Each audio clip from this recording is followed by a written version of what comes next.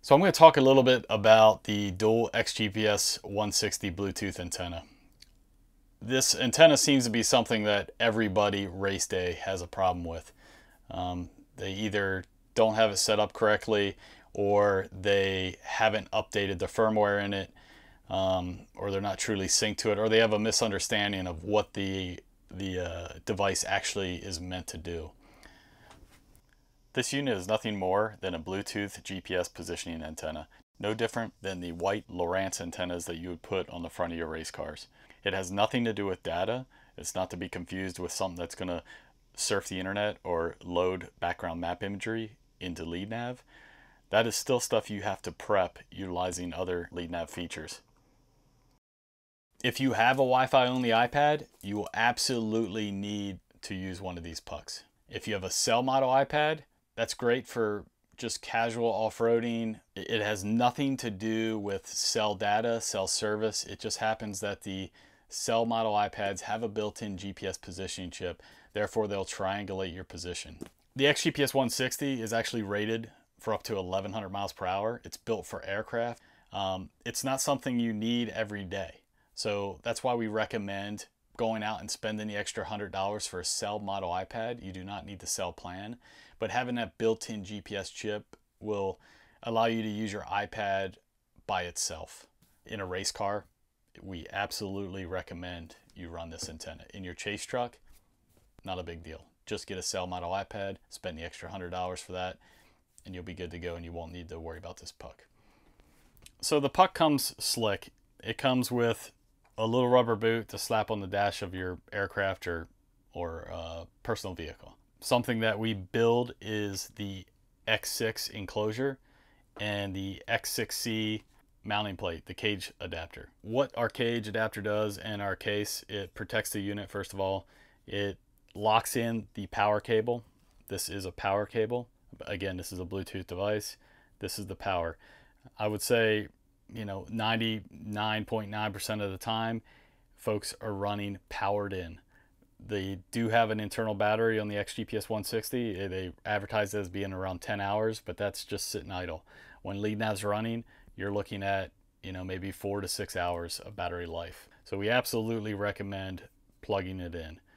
It doesn't need much power. You can plug it into any cigarette adapter, any USB adapter, it, it doesn't really need as much juice as say the iPad does. You can buy just the X6, you can Velcro it to your dash, or you, if you're in a cage vehicle, you can take advantage of the X6C and and just clamp it on anywhere on your cage. The XGPS 160 by itself has a pretty decent waterproof rating or water resistant rating I should say. Nothing's waterproof. I mean it's it's pretty water resistant. The only place you're going to get any moisture into it is, I'd say, through the power button. But the power button has a little recessed little groove in there, and it, it's pretty good. Just like anything, if you want this thing to be bomber waterproof, you're going to have to prep it. You know, there. I spent 20 years playing around the water. I can tell you, everything waterproof, you still have to take some care into prepping it before and, and maintaining it. So if you totally want to seal this thing off, what you could do is you could take some silicone and put it in the little power uh, little port here just to kind of seal that, that little gap up in there. And there's some little, down here you can put a couple silicone beads once you get the thing mounted into the screw holes under the X6. And if you really want to get all gung-ho, you could just put a real thin bead of silicone around the power button so it still functions. Um, and this thing is darn near diveable at that point, right? All right, so here's the XGPS 160 in the box. We're to open it up.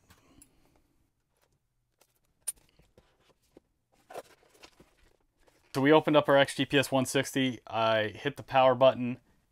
As you can see, we're inside right now, so it has no lock and it's flashing green. Uh, once it gets a GPS lock, it'll turn steady green. Then you have a Bluetooth sync light. Uh, you have up to five different devices you can sync to one puck. So you can sync multiple iPads or iPhones to this one unit. But right now I got both flashing. I do not have a GPS lock because we're inside and I have a flashing blue light because I have not yet synced to the puck. So the first thing I want to do is I want to take an iPhone or iPad and I want to download the Dual SkyPro Status Tool app. It's a free app made by Dual allowing you to check the firmware, update the firmware, and check the status of the puck. You can also use that to check the signal strength when you're placing it into a vehicle. So I'm going to back out and right down here you can see the dual GPS app down below. Updates for this app come out almost every time iOS updates. You know, every time your iPhone or iPad has an update, typically Dual will come out with an update and it's embedded in the latest update of their app. So the great thing about that is before you leave, all you got to do is make sure your Dual app is updated. And when you go out into the field, if you forgot to update a puck or if your buddy forgot to update his puck, you can go ahead and update his firmware from the app in the field.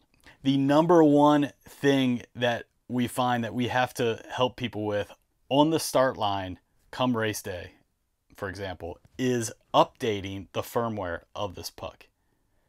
People either don't even know it needs an update or they forgot to update it and iOS just did a big update for Bluetooth and now the device is bricked, it doesn't work. So we literally come up the start line with with an iPhone or my iPad with the current update of Dual SkyPro Status Tool app and I run an update on their puck. And then I forget the device and resync the device and it's good to go. All right, so we're gonna open up the settings in the iPad or iPhone. We're gonna go to Bluetooth and we're gonna make sure Bluetooth is turned on. And at the top of the list, you're gonna see My Devices. This is a history of devices that you've synced to in the past. They're in your memory. When you turn on Bluetooth, your iPad or iPhone is constantly looking for those devices, right? So if any of those devices are something you're not going to be using race day, go ahead and forget them out of your, your uh, device list. And you do that by clicking on the I button next to each one and forgetting it. I'm going to go ahead and forget this device as well. And right now we we have a brand new puck that has never been synced to before. So when you do an initial sync with a Bluetooth device, it can be kind of tricky. Um, you're trying to get that initial handshake, you're trying to find the device, and it's trying to do that initial sync to it. So it's something you got to play around with a little bit. Is something that you definitely don't want to be doing on race day on the start line. You want to do this away from the start line, in the pits, back home. You want to be away from everybody else's Bluetooth puck. Um, we find that on, you know, when guys are trying to do this on the start line, there might be 20 pucks within range of them, which obviously causes an issue. So something that you'll see that we do, and we highly recommend it, is on the side of our uh, cases, we'll put the serial number, or at least the last three or four digits of the serial number, and we'll label it on the side of the unit, right? this this is a good idea because if you have multiple devices, say you have a couple in your pre-runner or your race truck, um, when you get back and you want to jump into another vehicle and sync to the puck or, or go through the process that I'm showing you right now, you're not going to try to guess which device is yours, right? And you can also forget the old units out of the list and kick off a new one. All right, so up on the list here, if you don't initially see your device in the list, just go ahead and turn Bluetooth off, turn Bluetooth back on. Right? Just kick off that process again. Again, this is the first handshake with a new unit. It's trying to find it. I still have flashing lights on my unit and boom. All right, so now up on the list, I see 9E33. I'm gonna click on that and I'm gonna pay attention to the blue light. It's flashing, it starts flashing rapidly, then I get a solid blue. We are now paired to this device. In your menu, you'll see that that serial number bump up to my devices. It's now in the memory. So now when I want to, if I turn off Bluetooth, I'll see the blue light go back to a flashing blue. I turn on Bluetooth. And it's already up in my devices. So now I just click on it. Yep, I want to pair that. And boom, connected. It's instant. We got that initial handshake taken care of. And now whenever we want to sync to this device, we just turn on Bluetooth. It's already up in my devices. Click on it, synced. Right? So the next thing we want to do is back out of settings and we want to pull up our latest update to the dual SkyPro status tool app. I'm going to pull up their app and right away we get a pop-up asking if we want to update to the latest firmware. Yes. Um, if I cancel that out of the menu and I go up to settings, I can also find out down there on the bottom that I'm running version 3.4.8 right now.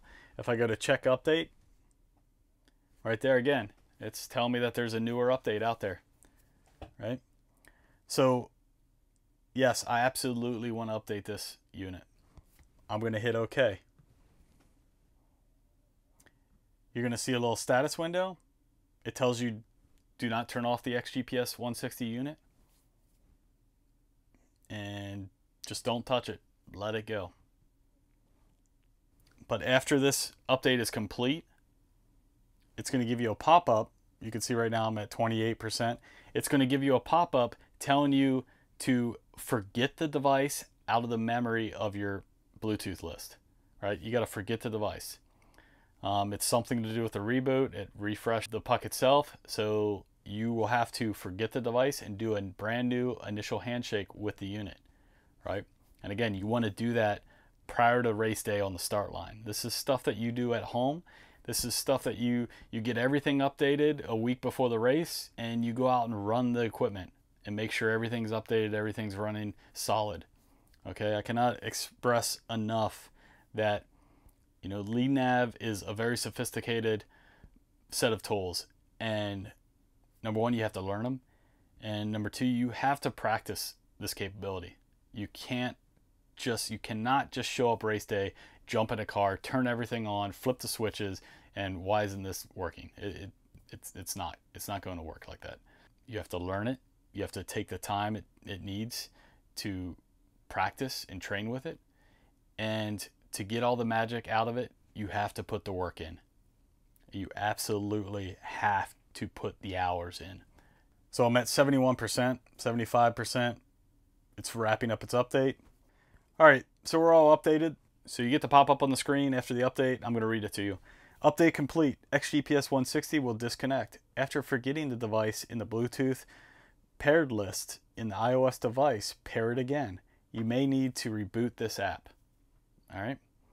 So it's letting you know right there that a lot's gone on. The puck did a firmware update reboot. Um, so again, you're going to have that that kind of initial handshake headache. Right now, I'm going to take the puck and I'm going to attempt to power it back up. Boom. I'm back to a flashing green and a flashing blue. I'm going to hit OK on the pop-up. And we're going to close down the Status Tool app. I'm going to go back into settings. I'm going to forget the XGPS 160. And I'm going to wait for it to pop back up. If it doesn't pop back up, again, the initial handshakes can be a little tricky. So I'm going to try to kick it into gear by turning Bluetooth off and turning Bluetooth back on. All right, there we go. It's popped back up in the Bluetooth list. I'm going to attempt to connect to it. Connected. You can see we went from flashing blue to a steady blue. And I still have a flashing green light because I am inside. So I actually had to take my XGPS 160 outside and it took about three to five minutes. And now it's got a lock. It has a solid green and I'm going to show you kind of what's going on inside the XGPS 160 app to let you know that it has a has a good position update. So you'll see inside their app um, down here at the bottom, I got three solid bars. I got an excellent, good, and good uh, for horizontal, vertical, and 3D map uh, for positioning. And if I switch over to satellites down here, you can actually see all the different satellites the XGPS 160 is currently talking to. So something that I did to get it kicked in the gear was I went in the settings when I was outside and I did a restarting of GPS modules, a cold start down here at the bottom of the list. Um, that just kind of reset everything and, and for the area and got it to lock uh, for the first time. If I go down to check update now, you can see your firmware is up to date. So we're good to go. So you can see already, I mean, we're already talking to over a dozen satellites. I just set it outside. It's got a solid lock. I can toggle between uh, status and satellites. Now, I want to close down the dual app completely. I'm going to close down LeadNav. I can go back into Bluetooth menu and I can uh, double check that I'm connected to the puck right here that we know we're connected to 9E33. So at this point, that's when I would want to label the puck. And I'm going to close that, open up LeadNav. And down here on the bottom left of the screen, you'll see a DUAL dual logo pop up, letting you know that LeadNav is currently synced to the GPS puck. You'll also notice when you start driving around that your position is totally fluid versus that one second hop that you'll traditionally see if you're just running the built-in GPS chip on a cell model iPad or an iPhone. So that's it. I hope this helps. Um, again, this is the number one issue that we have been seeing lately. Um, a lot of people on the start line are just freaking out because they first don't even know that the puck needed an update in firmware and uh, or they or they just forgot to and there's a big iOS push and and things got a little messed up. Uh, so that that's that's how the uh, puck functions. That's how it works. That's how you should sync it. Update this device. It, it's electronic device. It needs updates